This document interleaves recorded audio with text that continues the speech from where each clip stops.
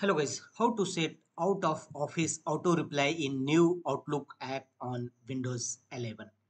First launch Outlook app and here go to right side top corner and click on three horizontal dot and choose settings.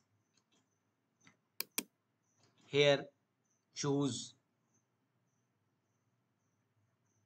email thereafter choose you will find automatic replies. Click on it. Here turn on automatic replies. Turn the toggle button on against option turn on automatic replies. Thereafter send replies only during a time period. Here choose your time period for your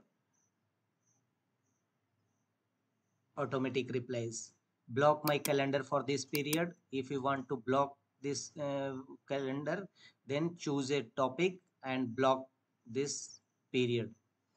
Automatically decline new invitations for event that occur during this period. You may check against this option and this option decline and cancel my meetings during during the, this period.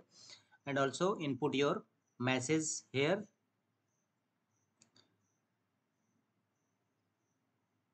And now you can choose send uncheck the option send replies only to contacts. If you if you select this option the replies will only send to contacts otherwise out of your office contact. All